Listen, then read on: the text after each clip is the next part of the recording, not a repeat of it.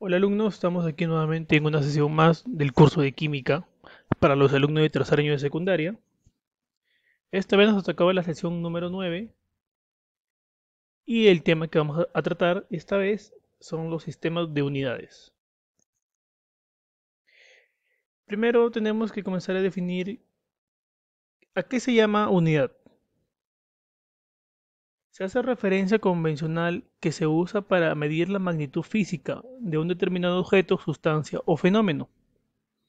Las unidades de medidas permiten calcular o medir asuntos como la longitud, la masa, la capacidad, la superficie, el volumen, la temperatura, el tiempo, la intensidad eléctrica o la intensidad luminosa.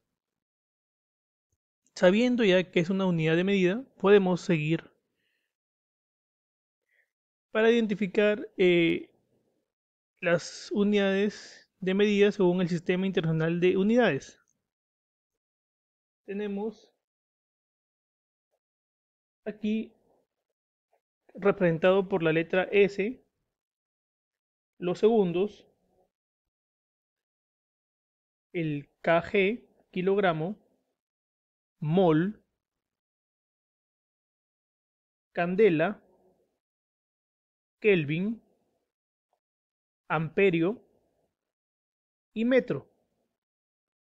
Estas son las, unidades que tiene el Sistema Internacional de Unidades, pero estas son las unidades básicas, que más adelante lo vamos a ver.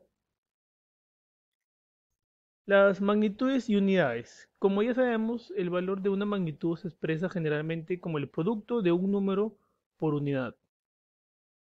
La unidad no es más que un valor particular de la magnitud considerada tomada como referencia, y el número es el cociente entre el valor de la magnitud considerada y la unidad.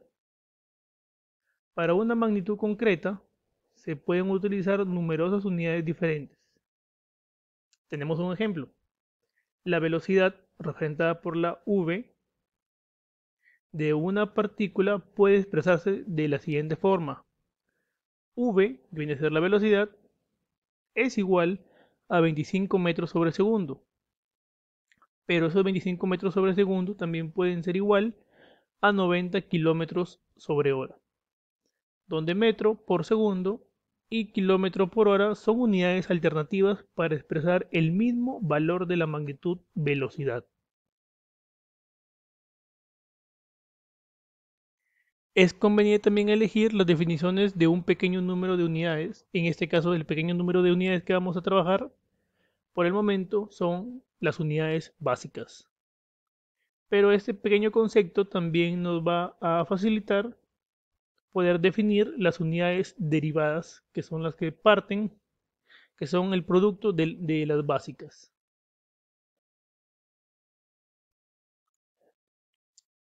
Dimensiones de las unidades de las dimensiones de las magnitudes.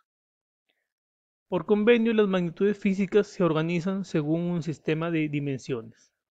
Se considera que cada una de las siete magnitudes básicas del sistema internacional tiene su propia dimensión, representada simbólicamente por una sola letra mayúscula en fuente romana. Los símbolos utilizados para las magnitudes básicas y los utilizados para indicar su dimensión son los siguientes que lo vamos a ver en la tabla número 1, denominada magnitudes básicas y dimensiones utilizadas en el sistema internacional. Tenemos como una magnitud básica la longitud, símbolo de la magnitud L, X, R, etc. En este caso, esa magnitud puede aceptar cualquier símbolo con el que ustedes estén trabajando y se puedan identificar. Y el símbolo de la dimensión es la letra L para longitud. En la magnitud básica de la masa, su símbolo de la magnitud es M. Y su símbolo de la dimensión es M mayúscula.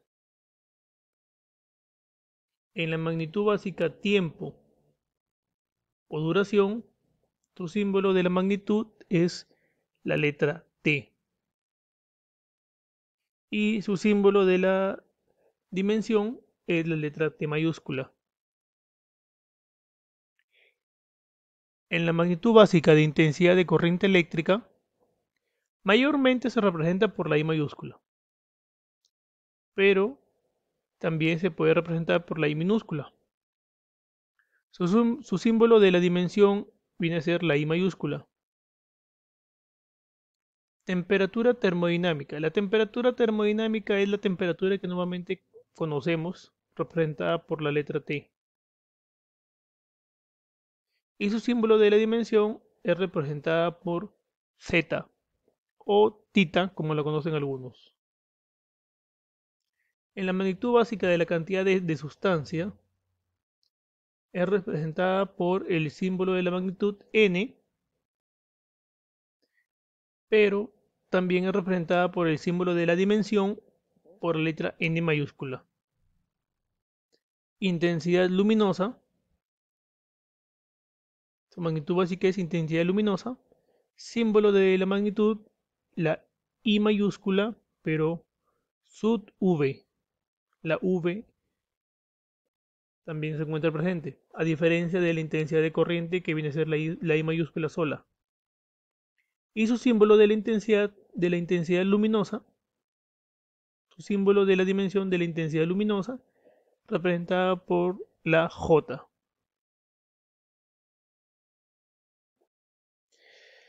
La longitud como primera magnitud básica. El metro es la longitud de un trayecto recorrido en el vacío por la luz durante un tiempo. En este caso, un metro es recorrido por la luz eh, vendría a ser igual a 1 sobre 299.792.458 segundos. De aquí resulta que la velocidad de la luz en el vacío es igual a esa cantidad en metros por segundo. Exactamente C0 es igual a 299.792.458 metros sobre segundo. El símbolo C0 o a veces simplemente C es el símbolo convencional para la velocidad de la luz en el vacío.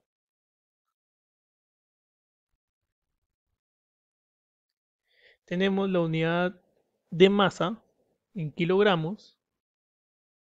El kilogramo es la unidad de masa, es igual a la masa del, prototipo internacional de kilogramos. ¿Por qué le han puesto un prototipo? Porque la, eh, la masa que se calcula en estos momentos no va a ser la misma cantidad de masa que se calcula después. Es decir, es simplemente igual a un kilogramo. Sin embargo, debido a la inevitable acumulación de partículas sobre su superficie, el prototipo internacional está sujeto a una contaminación superficial reversible del orden de un microgramo de masa por año. ¿Qué quiere decir? Que este objeto que vemos aquí, que pesa un kilogramo este año, el próximo año va a pesar un microgramo menos. O sea, ya no va a pesar un kilo exacto. Por eso que le dicen prototipo.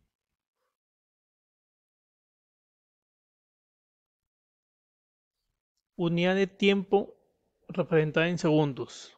El segundo es la duración de 9.192.631.770 periodos de la radiación correspondiente a la transición entre los dos niveles hiperfinos del estado fundamental del átomo de cesio 133. De aquí resulta que la frecuencia de la transición hiperfina del estado fundamental del átomo de cesio es igual a 9 9 mil millones 192 millones 631 mil 770 Hz. En su reunión de 1997, el CID confirmó que esta, definición se refiere a un átomo de cesio en reposo a una temperatura de 0 Kelvin. Así es como se midió el tiempo a través de una partícula de cesio. Unidad de intensidad de corriente eléctrica. El amperio. Es la intensidad de una corriente constante que manteniéndose en dos conductores paralelos rectilíneos de longitud infinita, de selección circular, despreciable y situación a una distancia de un metro uno del otro. En el vacío producirá entre estos conductores una fuerza igual a 2 por 10 a la menos 7 newton por metro de longitud. Aquí podemos apreciar un instrumento que mide la cantidad de amperios. En este caso, está midiendo la cantidad de amperios de una batería a través de dos conductores paralelos rectilíneos de una sección circular despreciable, es decir, de una sección circular muy pequeña.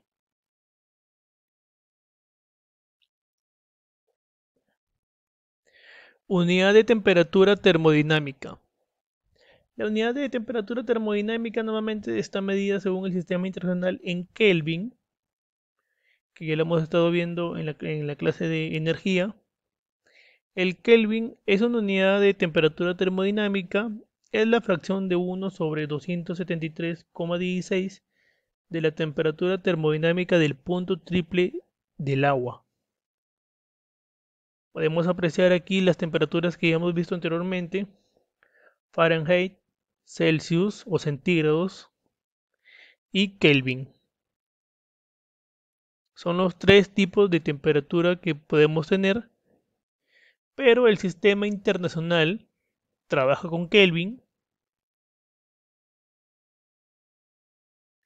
porque Kelvin tiene un comienzo y tiene un fin. En cambio Celsius no. Fahrenheit tampoco. Celsius tiene, eh, Kelvin tiene un comienzo, que comienza cero, y un fin. Entonces, la unidad de cantidad de sustancia que se llama mol. El mol es la cantidad de sustancia de un sistema que contiene tantas entidades como átomos que hay en 0,012 kilogramos de carbono 12. Su símbolo es mol. Cuando se emplea el mol debe especificarse las entidades elementales que pueden ser átomos, moléculas, iones, electrones u otras partículas o grupos específicos de tales partículas. Tenemos acá un ejemplo. un mol de agua tiene su masa molar de 18. Más adelante lo vamos a ver cuál es, cuál es la masa molar del agua y de cada elemento. Multiplicada por el número de Avogadros, dice que un mol de agua es igual a 18 gramos. Es decir, en un mol de agua encuentras 18 gramos. Si tú tienes 18 gramos de agua, tienes un mol de agua. La masa molar de un átomo o de una molécula X se designa por mol paréntesis X o mol X es la masa mol de X. Para poder continuar esta clase lo vamos a dejar para la siguiente sesión. Por favor, si tienen alguna duda, pueden hacérmela llegar el correo mediante la plataforma Educai. Los espero en una próxima sesión para terminar de explicar el sistema de unidades. Muchas gracias. Hasta luego.